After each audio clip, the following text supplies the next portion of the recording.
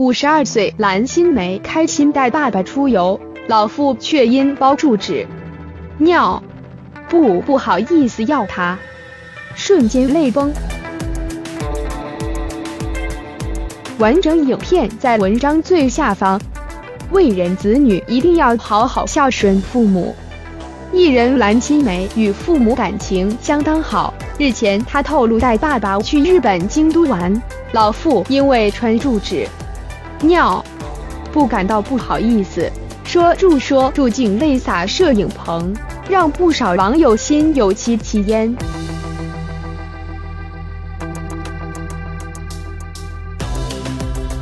蓝心湄表示。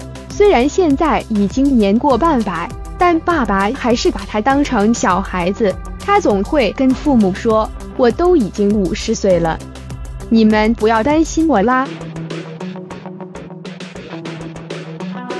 日前，蓝心湄带住爸爸去京都玩，父亲因为年纪大不太能走，也不太能咬食物。当他牵住爸爸去厕所时，爸爸因为穿住纸、尿。不觉得不好意思，要他不要看他。这一瞬间让蓝心湄不舍，说：“以前你帮我们换尿布，现在我帮你换尿布。不管你几岁，我都爱你。”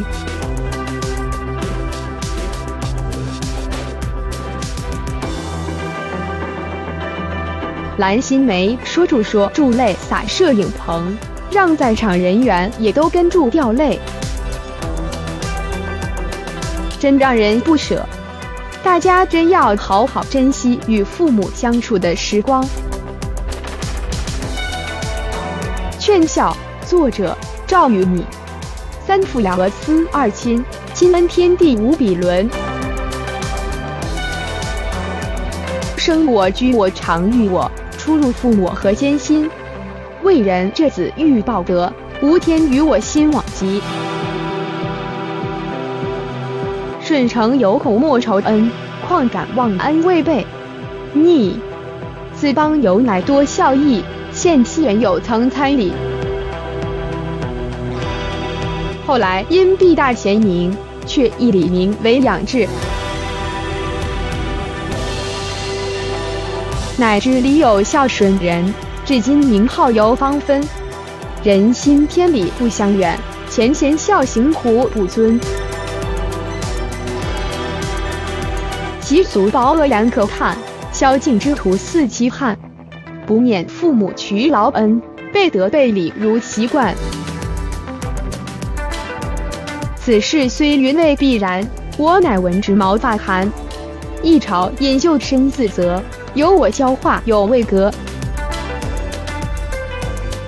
思昔曾为贵相应，见人母子偶相敬，令因剔出受孝经。母子幡然起心境，